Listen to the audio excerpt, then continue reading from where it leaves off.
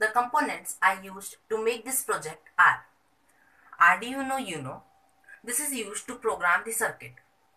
Ultrasonic sensor.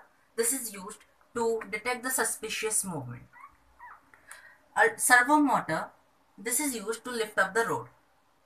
Buzzer is used as a security alarm. LED bulb is used to show the prohibited zone. Arduino cable.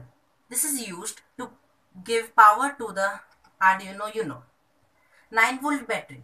This is used to give power to the buzzer. 3 volt battery is used to give power to the LED. SPST switch.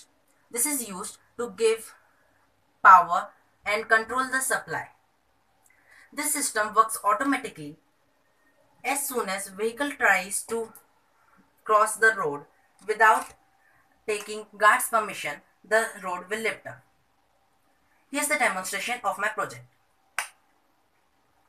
In the first case, the car enters the zone without taking permission from the guard. And when the ultrasonic sensor detects this movement, the servo motor starts working, which is located below the road, and the alarm rings by lifting up the road. In the second case, if the guard's permission is taken by the car driver, then the guard can switch off this button.